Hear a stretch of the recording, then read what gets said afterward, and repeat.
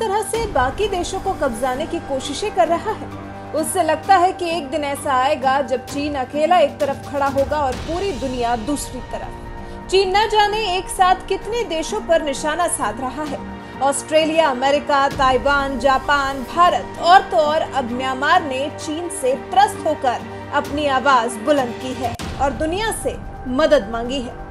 रूस के एक सरकारी चैनल को दिए इंटरव्यू में Myanmar army chief general Min आंग लाइंग ने कहा कि उनकी धरती पर जो आतंकी समूह सक्रिय है, उनके पीछे मज़बूत ताकतें मौजूद हैं।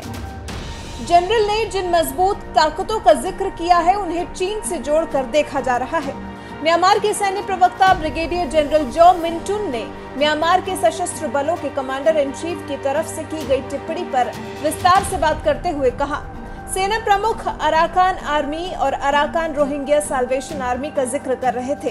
ये दोनों आतंकी संगठन चीन से सटे पश्चिमी म्यांमार में राखिन राज्य में सक्रिय संगठन है और चीन इन आतंकी समूहों को हथियार देता है।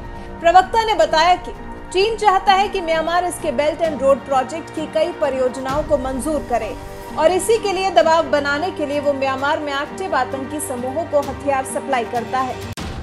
इतने पुख्ता तौर पर जो मिंटुन चीन पर यह आरोप इसलिए लगा पा रहे हैं क्योंकि उनके मुताबिक म्यांमार में सक्रिय आतंकी संगठन सुरक्षा बलों पर हमला करने के लिए चीन के बने हथियारों का ही इस्तेमाल करते हैं। कहा जाता है कि चीन की कम्युनिस्ट पार्टी म्यांमार में अपनी पकड़ मज़बूत करने के लिए इन आतंकी समूहों को हथियार सप्लाई करती है। इन आतंकी समूहों के चीनी सेना के साथ भी घनिष्ठ संबंध होने के साक्ष्य मिलते रहे हैं। अब म्यांमार चीन के इस बर्ताव से परेशान हो चुका है और दुनिया से मदद मांग रहा है। वहीं चीन ने इन आरोपों को हमेशा खारिज किया है। चीन ने मानने से इनकार कर दिया कि वो म्यांमार में सशस्त्र विद्रोही समूहों को हथियार सप्लाई करता है। तो क्या अब मान लिया जाए कि चीन की गुस्ताखियों को रोकने के लिए अब विश्व स्तर पर ही कोई ठोस कदम उठाना होगा?